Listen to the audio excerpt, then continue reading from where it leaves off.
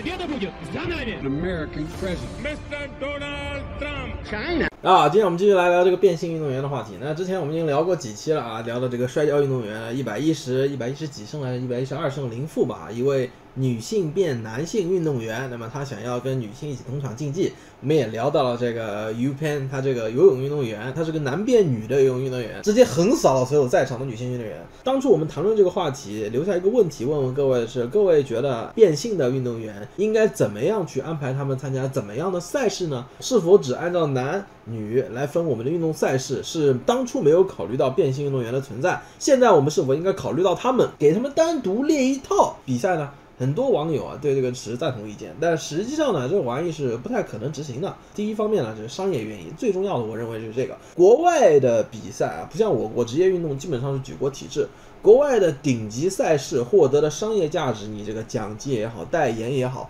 长期的战略合作，而且你这个合作之后的出路安排都是非常好的，非常多运动员的一个运动生涯赚够了钱之后呢，转型做主持人啊，就是不从事体育行业了。这样的从业规划和体育行情是我们国内所不具备的。我们国内顶级运动赛事的商业化啊，做的跟国外是不一样的。那么这一点呢，特别啊，在于我们之前也讨论的一个问题。这顶级赛事商业化，那你次级赛事涉及到什么？就涉及到一个大学的奖学金问题，涉及到大学之间要竞争人才的问题。事实上，它是很残酷的。美国好大学基本上都是私立大学嘛。如果说他们不单单是政治表态，说我们支持 LGBTQIABK 群体，那么就有非常非常多支持民主党政治意识形态的优秀学生愿意选择这种院校。假如他们表示说，哎，男女不行，我们给你单独列一档的话。这涉及到一个政治表态问题了，可能对学校的声誉，可能对生源造成很大的影响。你要单独把它划出去，什么意思？你不承认我是女的，你不承认我是男的，是吧？啊，那是不行的，那个一个政治问题。那么第三个问题呢，就是在学校层面的奖学金发布问题啊，因为我自己对这个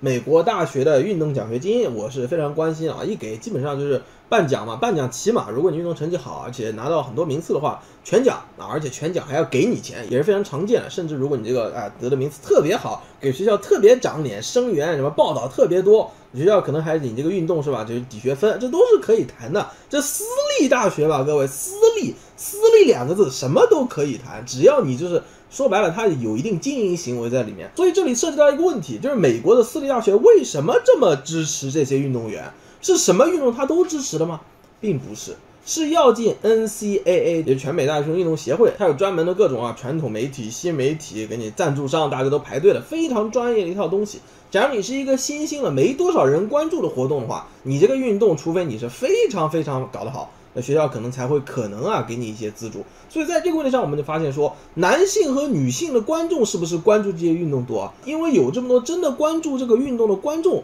他们愿意共情的是跟他们性别一样的人，这是一个心理问题吧。所以说，潜在影响的方面，比方说这个赞助商啊，运动品牌的赞助商，学校希望是更多的人。看到说，哎，你这个人可是我们学校，我们学校支持这样的运动，你来，我们的场馆设置啊，好的不得了。那么希望吸引的是生源，还有第三个，这些从事该运动的运动员，希望通过这个次级联赛，他最后是要我要把这个走下去的，我要一直得奖的。那么如果观众不看你这个体育赛事，你这个赛事的主办方、广告商、团队、他的赞助商，也运动品牌赞助商、学校都没有想要往里投钱的一个动机。说白了，它是一个商业链路问题。所以说，想清楚这个呢，就是我们之前留下来的一个问题啊，是不是你单独给变性运动员，你们啊男变女的来，女变男的来，都单独加一套体育赛事，这不是行呢？答案很显然是不可行的。那么在这种情况下呢，鼓励各位再想想有没有什么别的办法的同时，今天这个视频非常有意思，就是哈哈有一个特殊情况。呃，没想到还真的这么快就碰上了！看我这个视频总是能连起来。就我们之前谈的这个游泳运动员，在 U 片这位男变性女的游泳运动员，他本来是横扫队内的女选手的，但是他现在呢，在另外的联赛上面遭遇了惨败，被人甩的车尾灯都看不见了。狂甩他的是谁？注意啊，他参加，他是一个男转女的变性游泳运动员。横扫的是女运动员，现在她自然参加的就是女性选手的游泳比赛，被一个人横扫。这个人大家一听，哦，这个人的性别估计不一般吧？啊，没猜错，看一下图中是这位之前说的那个 U Pen 的游泳运动员，他头上有个 P 是吧？他有个学校的首字母，他的身后是他的顺性别女性队友，就是她那生下来就是女性，她也没变过性的，明显要比大不知道一圈是吧？那么这位运动员有帽上面写的是耶鲁耶鲁大学的运动员，大家发现左边这位运动员啊是吧？她的胸上有明显的伤疤，没错，她是个女转男运动员，女转男运动员和男转女运动员在一个泳池里参加同样的女子游泳比赛，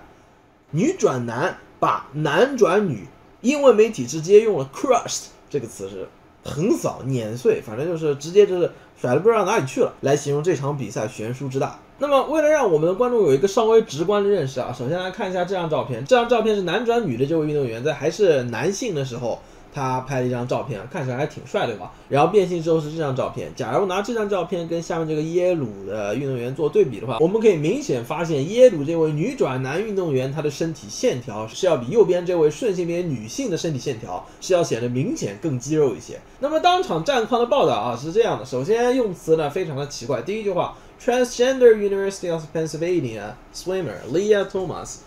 我们学英语的时候，我想各位应该都学到，在名词前面的形容词，假如有很多很多的形容词，比方说一个又大又红又老又蓬松又柔软，假如你要用这么多形容词形容同一件东西的话，那么这些形容词谁在前谁在后是很有讲究的。那这个不算的话，假如是一系列名词前面有一个形容词的话。那么这个形容词放在哪儿，对我们如何理解这句话也有很大的影响。那这个地方呢，就体现出来，这第一句话的意思翻译呢，应该是宾夕法尼亚大学变了性的游泳运动员叫里亚托马斯，是这么翻的。但是 transgender 放在 university 之前呢，就让人读起来很，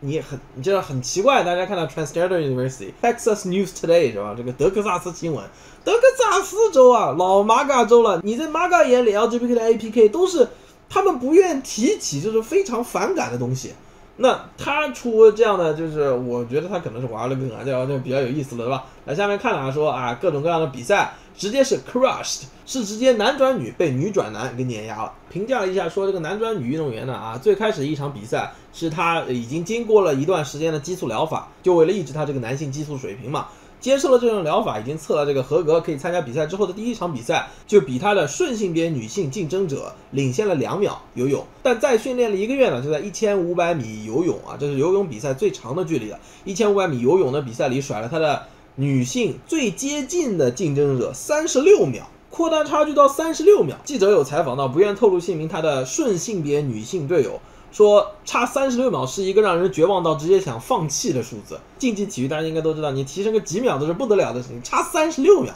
就绝望到直接放弃。结果他是被现在这位叫伊扎克·亨内格在一百米游泳里面打败啊，而且超的是三秒多，一百米游泳超三秒多，这是不得了的事情。如果乘以一个十五，你看刚刚我们说那个是一千五百米，他超了三十六秒。如果一百米能超三秒多的话，一千五百米他相当于超了四十五秒多啊，这还不算零头的话，那说明这个女转男运动员。比这男转女运动员又是不知道哪里去了。这个成绩，他的领先对于这个男转女运动员来说，又是一个可以说引用他队友的说话，就是绝望到想要放弃的成绩。而且赢了之后呢，他们穿那个泳衣非常专业啊，就是即便是男游泳运动员穿的也都是全身的泳衣，就把他的上衣脱下来之后，露出了他带有刀疤的胸部啊，是这位女转男运动员。露出了他的胸部，向世人展示，非常自豪啊！我变性了，是这样。那么这个场景是直接让在场比赛观赛的那些运动员父母啊，是父母惊诧，直接用 stunned，全部都愣住了啊！就一方面你这个变了性，把这个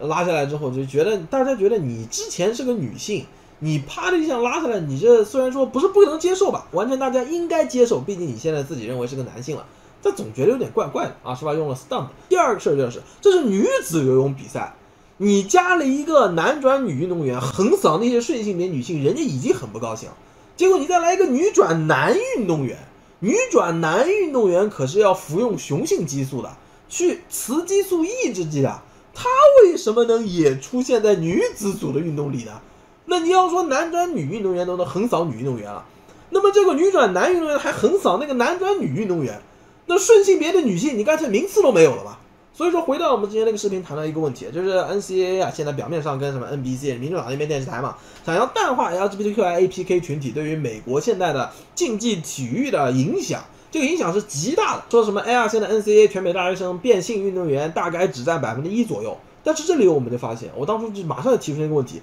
竞技体育大家只关注谁能拿到名次，不是说你这参赛的人有多少。你现在啊，这个第一名游泳的，你假如是女转男的话，第二名男转女，后面再加一个什么变性的，那你顺性别女性一个都拿不到，这叫什么女子组比赛啊？那成了这个问题嘛？所以人家家长说的也很清楚，我来看比赛了，我完全没做好这个准备，这都比的是什么东西啊？你们二十周运动委员会，你们得做点什么嘛？另外一个家长说啊，我只看到一个男人直接横扫所有女运动员。这件事儿还有问题在于，既然你出现这种状况，在他被打败之前呢，福克斯自然就跳出来。福克斯是保守派媒体，立马就联系了啊！我们看到视频中间啊，中间这个是主持人，左边这个呢是游泳队的队员，他的一位队员啊，右边这个是他的律师，他专门还请了个律师，准备要告学校，还要告 NCAA 协会了，说你不行，她不算女人，我们这些顺性别女性才可以在女子游泳项目里面游泳。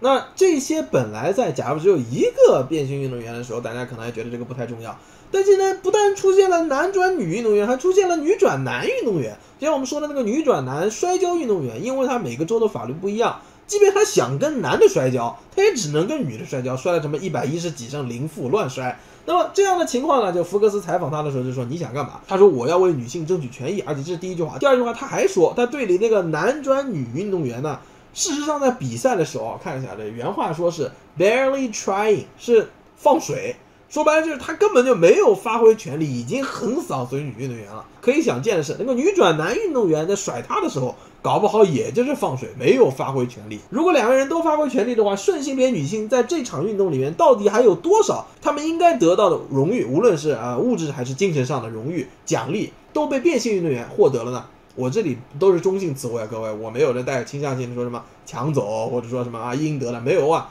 都是得到了，得到啊，所以这个问题呢就非常的有意思。在讨论这个问题之前呢，更有意思的是他这个队友上福克斯嘛说，我们顺性别女性应得的都被变性运动员拿走之后，是遭到了他人的网暴攻击，说他是仇恨 LGBT 群体，不支持性少数，要学校开除他或者剥夺他的运动员身份，运动员本身就有奖学金的。这个事儿还在外媒上把他作为一个例子去和变性运动员看一下，这位，这位叫做西西特尔福，这位运动员他也是变性，他是男变女运动员啊，他上面这个还是福布斯找他做的广告，所谓的要为女性争取在运动中平等的权利，他去做为女性争取运动中平等的权利，把他。和刚刚那位上福克斯的作比，用来做对比是 LGBT 认为自己在帮女性争取权利，结果你们顺性别女性想要打击我 LGBT，双方吵的是不可开交。那么这个西西特尔福呢，也是非常著名，运动成绩非常好的一位，他还是男性的时候，我这个地方应该打的是 TA 那个他啊，已经是成绩非常好了。变性成女性之后，自然成绩也都是非常好，但她没有能够参加东京奥运会，因为她也是和之前我们谈的那位一样，就是有绯闻男友，同时又有怀孕的妻子那位，她一样拒绝使用压制自己体内男性激素的药物，结果就没能参加东京奥运会，因为测出来体内雄性激素的浓度啊，我们说最高你不能超过五纳摩尔每升，他是超过，所以没有能参加，但是 他在 NCAA 就全美大学生运动里面已经拿了不知道多少奖。我们看一下当场他的一个视频，就知道这个对现场观众来说，为什么那些学生家长会说太夸张了，我都没想到这种情况。那就是一个男的碾压了所有女性。我们各位，我不告诉你们说哪一位是西西特尔福，各位自己在这个短视频里就非常容易就能辨别出来。